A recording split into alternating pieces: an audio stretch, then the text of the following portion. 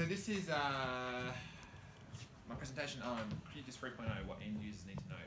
Um, Martin's presentation is kind of like the exciting stuff, what's coming up. This is almost like the bad news of what's coming up about QGIS 3.0.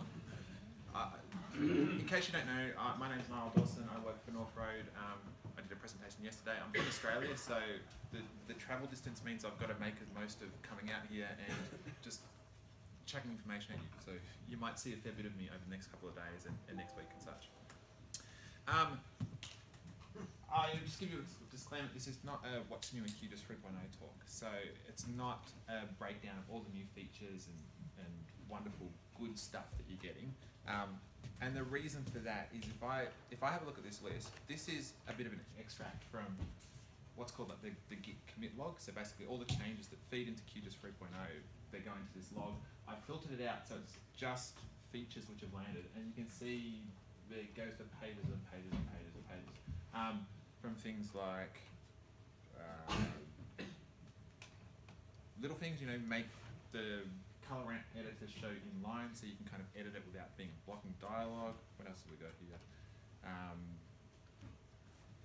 allow label font sizes in millimeters or pixels. You've been waiting for that, it's coming in QGIS 3.0. Know what else we've got here. Um, anyway, there's, there's, there's like hundreds and hundreds of changes. So it's basically anybody who comes up and does a what's new in 3.0 talk will be talking for a day uh, or longer. So this is a what has what's going to change for you when you download 3.0 later in the year and you load it up.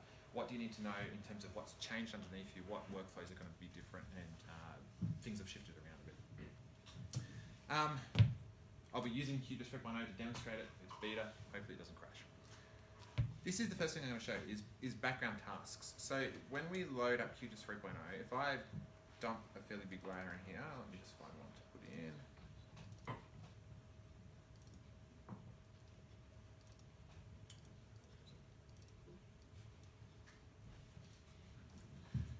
So here's a layer with a couple of million points in it. Um, one thing that has come in QGIS 3.0 is this this kind of concept of background tasks. So in in QGIS 2.x, uh, a lot of things that you do would basically block the interface and stop you from doing other stuff while they think about what they're doing. So they're processing away, they're you know running buffers or saving out layers and that sort of stuff. Um, the the kind of good side of that blocking is you know what it's doing. You get a dialog sitting there saying saving, you know, saving raster layer or whatever, and it's got progress bar and it, it sits there. You can't do anything until it finishes. A lot of those have been replaced in QGIS 3.0 with this um, these background tasks. So if I get my vector layer here, for instance, and I save this out to a to a shapefile, because shapefiles are the future. Uh, so if I save this, if, if I did this in QGIS 2.x, it actually would just look like it's hung. It would sit there with an hourglass for whatever, you know, 10 minutes or two minutes while it actually saves all those points out. Um, in QGIS 3.0, it actually doesn't look like it's doing anything. You, you might think, oh, you know, what's what's happened. Um, but you'll notice down here, if you can see above the, the whiteboard, uh, let's see if I can bring this up a bit. Um, there's a little progress bar churning away there, 19, 20%. And that's actually showing me that there's a background task running. So you'll see quite a lot of things disappear into this this kind of active tasks uh, thing in the status bar. So this one is saving out my points layer. You can see it's kind of churning away there. It gives you a progress report. you can cancel some of the tasks. Some of them allow you to cancel them, some of them don't, depending on what the actual task is. Um, and eventually when that finishes, well my, you can see like I can keep I keep using my map, I can keep doing other stuff, you know, changing my things, loading in other layers, and that while that task kind of progresses. Eventually, when that finishes, getting closer, it'll it'll load that that result layer back into into QGIS. Um, so if you go into QGIS 3.0 and you try and save out a, a vector layer or a raster layer, there we go. So export to vector layer has been completed and it's loaded the result into into the canvas there. If it looks like it's not actually doing something, check the status bar, and it might be processing that, that request in the background. So that is, so far that's been done for saving raster and vector layers, uh, saving map renders, so QGIS 3.0 has got this thing if you go to save your map as an image, you actually get this option here um, to, to kind of put in your DPI. So you put in something stupid like that, oh, 3000 DPI or whatever, and you say that that will run the background, it won't block QGIS anymore.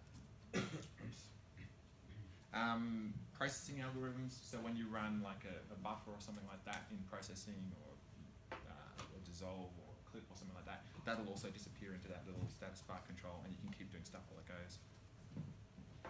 Right.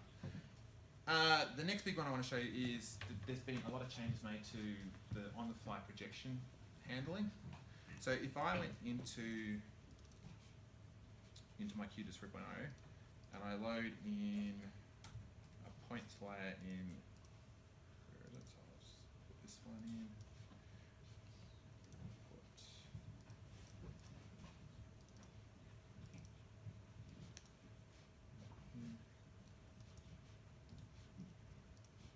Right.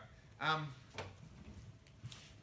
QGIS 2 point whatever had a, a quite confusing setting in the project properties about this OTF or on-the-fly projection, or the little checkbox to allow you to turn it on or off. Um, so that setting is basically whether or not data from different with different CRSs should be reprojected so they sit in the same place on the map. Uh, i- so in my in my project here, I've got one layer in a, a local coordinate system, and then I've got one in uh, in WGS 84. With the on-the-fly projection, it's putting them in the same spot. So it basically knows that one of them needs to get get reprojected so that they sit where they should.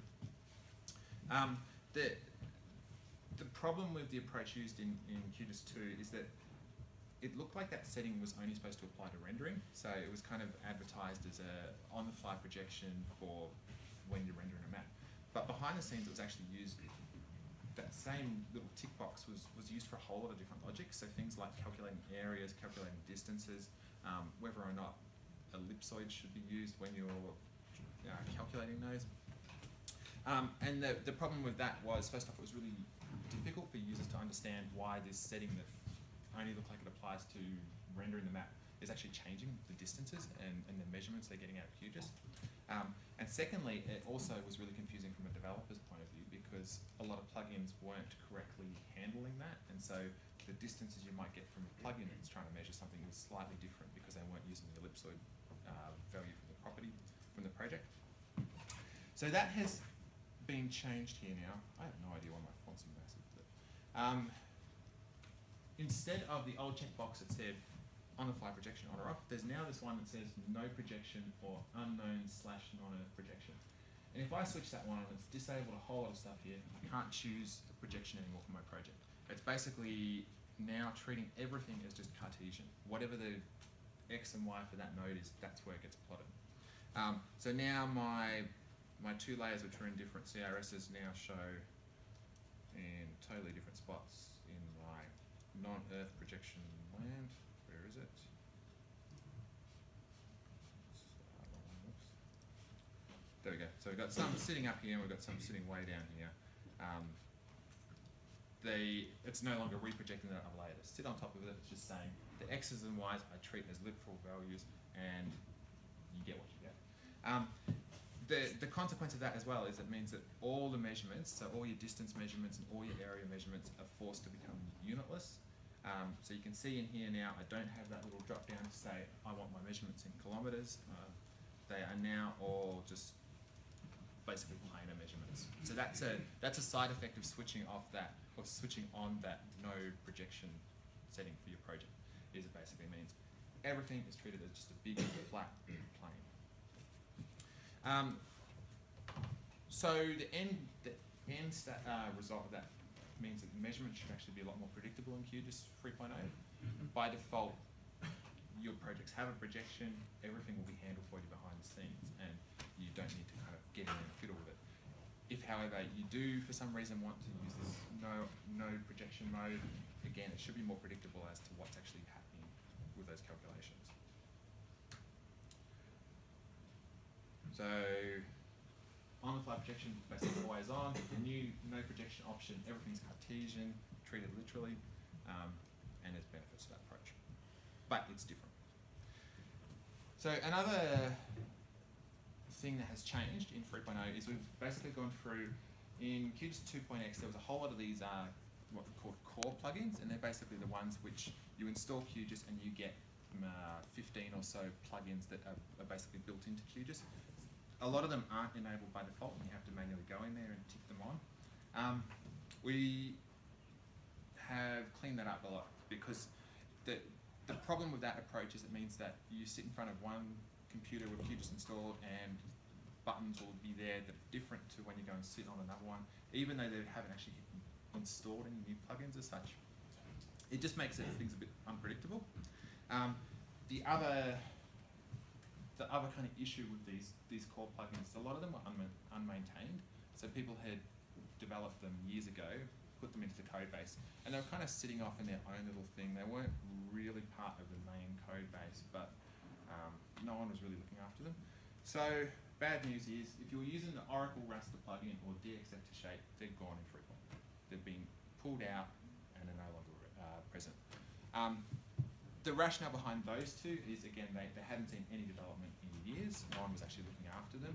Um, they are, there, there are plugins that there are better tools that do that sort of thing. So DXF to shape is basically redundant. You should be using uh, GDAL for that sort of thing. Um, an Oracle raster, I actually couldn't find anyone who knew what that plugin was supposed to do, so, always actively using it, so that one's gone. Um, if anyone is invested, wants to see those back, they basically need to take take charge of it and say, I'm going to step up, I'm going to maintain it, I'm going to make it into a Python plugin that's pushed out through the repository. A lot of these other plugins, so uh, heat map, road graph, um, geometry snapper, raster terrain analysis, interpolation, and GDAL tools, they've been taken away from this sort of core installed by default but not enabled by default approach to actually becoming processing algorithms. Um, and this is actually a really good thing because instead of being these kind of dead end things where you can run a heat map but it has to be done manually, then you get your end result. You can't use it as part of a, a bigger model where you might want to do multiple steps and the heat map's part of it or the geometry snapping is part of it or uh, you know, the interpolation is just one step of it.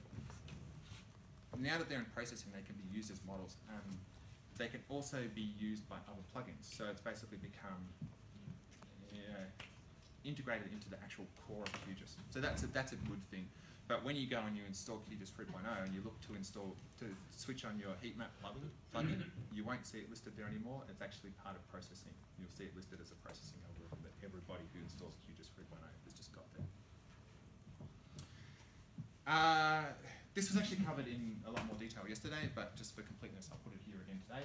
So the node tool and the move features tool changed from the click and hold and drag approach to this click-click approach that lets you use it along with the, the CAD dock and uh, has multi-features edit and that sort of stuff.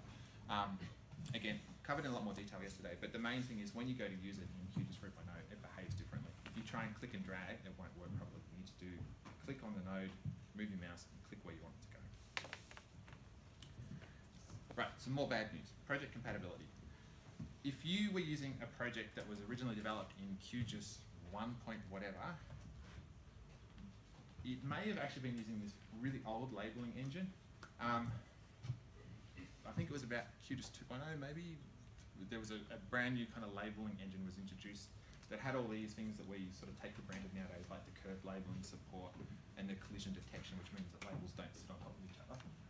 But uh, all the way up to QGIS 2.18, you could actually load a project that was made in QGIS 1 point whatever with this old kind of really basic labeling, and it would still work okay. It would actually um, switch on this hidden deprecated labels setting. So, so your project would look the same as it did in 1.7. Uh, that's gone now. So if you try and load a project from QGIS 1 point whatever, you, you'll lose all your labels. I don't know if that's going to affect anyone, but it's not there. Uh, there have been other things that we've changed in the project compatibility which means that various pieces of code that were sort of there to transition features that were uh, changed in earlier 2.x versions, that, that compatibility code has been ripped out. So the consequence there is that if you try and load a project like from 2.2 or 2.4 into 3.0, uh, there's certain features which may just get dropped, or certain settings that you've got in that project that may not translate exactly to 3.0. The, the secret to making sure that they work well is to open them in a recent QGIS version, so 2.14 or 2.18, save them, and then open them in 3.0. So that's only really a, a, a issue if you've got old projects that you haven't been working on in recent QGIS versions. Everything from recent QGIS versions will translate without issue. Uh, okay, another piece of bad news is that um, user settings don't translate between QGIS 2 and QGIS 3. So when you fire up QGIS 3, it means that all the, the configuration options and that that you've set up for QGIS 2.0 aren't automatically transitioned across. Um, you basically start with a clean slate and you have to go in there and set up all your connections again, set up your, your interface how you want it. You get the off-the-shelf package again. There's, there's been various talk about making a, a kind of translator for the settings because it, it is quite annoying to reset up all your WMSs and all your, your PostGIS connections and that. Um, and probably it will end up being a, a, a plugin or something like that that people can use to, to transition those settings. But as of today, nobody has actually done the work to implement that. What else have we got? Processing. So processing has undergone a large kind of um, a large body of work in 3.0. Um, part of that is that the whole back end of it has been ripped up, taken out of Python and put into C++. So it's a lot faster. Um, hopefully, the parts of it are a bit more stable. Um, but there's also changes which affect how it's used. So one of the the biggest consequences of that is that a number of the providers that were included by default in processing in QGIS 2 aren't available anymore in QGIS 3.0 and have basically been moved off from included with the default install to third-party plugins.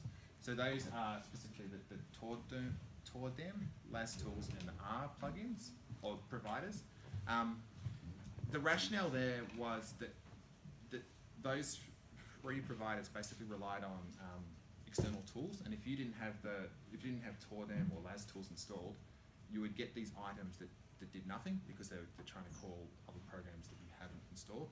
Um, so by moving them into uh, manually installed plugins that you get through the plugin repository, it, it basically means that you can be sure that the people who are installing them should have those third-party dependencies and things generally work better.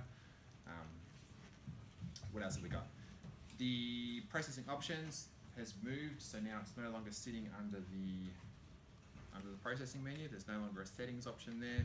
It's been shifted off into its own little section in the general QGIS options. Um, in, in QGIS 3.0, plugins can actually put entries in there as well. So hopefully we'll see most plugins go from having their own individual menu entries for uh, configuring the plugin to all being put into this general settings options place, like one-stop shop. Uh, this is a good news. So QGIS 3.0, uh, when you were when you were doing processing tasks in QGIS 2.x, there was this requirement that all the layers have to be in the same CRS. So if you were doing like a, a clip of one layer with a mask that was in a different CRS, you'd first have to reproject one of them so they would both be in the same same projection. Um, otherwise, it just didn't work properly. The, that's no longer required in, in 3.0. You can take your mask layer from a different CRS and it will just know that I need to reproject this one for it to work properly. Um, so that's actually good news because it means you don't have to make those temporary tables all the time. Of, I'm just going to have to reproject this one so I can do the next step of my analysis. Uh, there is also, or there have also been changes to some of the processing algorithms. So we, we decided that 3.0 was a good time to basically go through and sort of clean up this list of, of algorithms, algorithms that we have available that has grown kind of organically over time where there was ones which duplicated each other's functionality and this sort of stuff. So there was, uh, there was, for instance, two algorithms included by default to make grids, um, and there was some of them did one thing, and there was kind of a bit of overlap, but none of them did everything. Uh, so that's all been cleaned up and they've all been smashed together. The really bad news of that is that processing 2 models aren't compatible with processing 3 and QGIS 3. So if you have models that you've developed for QGIS 2, you have to recreate those ones in QGIS 3.0 and you have to look through and you have to find out what um, how those algorithms map from 2 to 3. It's, yeah, I, I don't like this really, but it's kind of, we, we can't find a good alternative um, to, to automatically convert. The, I guess the, the good thing is you can have QGIS 2 and QGIS 3 installed, they're running side by side, and hopefully it's not too much work for you to basically recreate models. But it's bad. Um, a, a, another interface change that has happened for 3.0 that you might notice is in QGIS 2 and early versions, there was this big mash of kind of different different ways of setting transparency or opacity or alpha for, for objects. Um, so some things like labeling used transparency, uh, other things like symbology used opacity, and it just got a little bit confusing for users because all of a sudden one of them, if you slide the slider all the way to the right, disappears, but when you do it in a symbol, it actually makes it more prominent. Um, they have all been replaced with opacity. So now across the interface, everything is opacity and it's all consistent wording and consistent uh, scales for that. That also applies to other things like uh, there was a, a kind of a mix of outline color versus border color versus um, oh, I can't remember some other terms for it, but that has all been replaced with the, the term stroke, so it's just consistent and sort of matches with other desktop publishing software. Um, No? I'll, I'll, I'll speed up a bit. Rotation and scale is nothing that was made consistent. So labeling had rotation in the opposite direction to, to symbols, and this made it really annoying. Like if you had a, a field in your table, you were trying to rotate labels and symbols to, because one of them was rotating clockwise and the other was anti-clockwise. Labeling lost out here, and it's been transformed to fit the rest of it. Same with the scales and labeling. Scale it had the definition of maxing in scales backwards to the rest of the interface. That's changed. Um, loading up old projects, it should happen transparently, but it's only if you go in there and look at the interface, it'll look slightly differently if you're used to accounting for that old behaviour. that one's not so important, I'll come back to that. That one, we'll skip a few. The last one I'll cover that's another big change is um, this unified add layers window. So in in QGIS 2, there was uh, maybe 10 more buttons down here. So you had one for add PostGIS, add WFS, add XXX. Um, in QGIS 3.0, they have all been merged into this one unified open data source window. So I click here, and this is where they're all sitting now. So instead of uh, multiple different icons for each each uh, data source, they all have been added to this one dialog, and that's where you get in there now, and you can add your your, your Postgres layers or your rasters and all that sort of stuff. But they're all sitting in that one window. Um, this is still, I guess, a work in progress. There's there's things we we want to add still to this to this dialogue to streamline it a little bit. But the the goal is to to reduce that user confusion of having so many options to add layers to just that's the button I click to add my layers and then they make the choices based on.